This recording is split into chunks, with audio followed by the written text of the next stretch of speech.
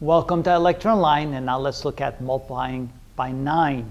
The multiplication table again should be memorized outright. 9 times 1 is 9, 9 times 2 is 18, 9 times 3 is 27, 9 times 4 is 36, 9 times 5 is 45, 9 times 6 is 54, 9 times 7 is 63, 9 times 8 is 72, 9 times 9 is 81, and 9 times 10 is 90.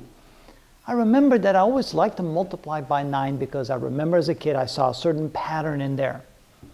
Notice that I looked at 9 times 1 as 10 minus 1, and 9 times 2 as 20 minus 2, and 9 times 3 as 30 minus 3, and 9 times 4 as 40 minus 4, and 9 times 5 is 50 minus 5. And continuing, 9 times 6 I saw that as 60 minus 6, 9 times 7 was 70 minus 7, 9 times 8 was 80 minus 8, 9 times 9 was 90 minus 9, and 9 times 10 was simply 90. And then I even thought of a different way of doing it because then I realized when I looked at 9 times 6, I would subtract 1 from the 6 and then add to that the difference between 10 and 6. So 6 subtract 1 I get 5 and 10 subtract 6 I get 4. And I would do the same with 9 times 7. I would put the number 1 less than this down and then 10 minus 7 is 3 and it would be 63.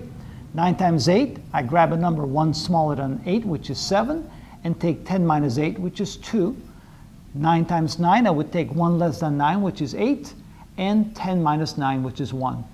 And so very quickly I was able to come up with the answers to the multiplication tables of multiplying times 9 by simply either taking adding a 0 and then taking 1 away, adding a 0 taking 2 away, adding 0 taking 3 away, adding 0 taking 4 away, adding 0 taking 5 away. And then when the numbers became bigger, then I simply subtracted 1 from that number and then added 10 minus that number. Subtract 1 from the number, which is 6, add 10 minus 7, which is 3. Subtract 1 from that number, which is 7.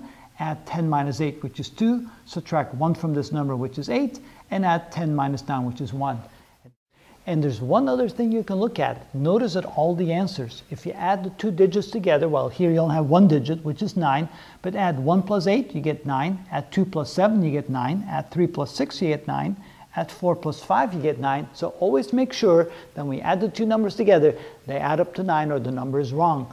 5 plus 4 is 9, 6 plus 3 is 9, 7 plus 2 is 9, and 8 plus 1 is 9. Of course, 9 plus 0 is 9 as well. That's another way to check and see if your answers are right when you multiply by 9.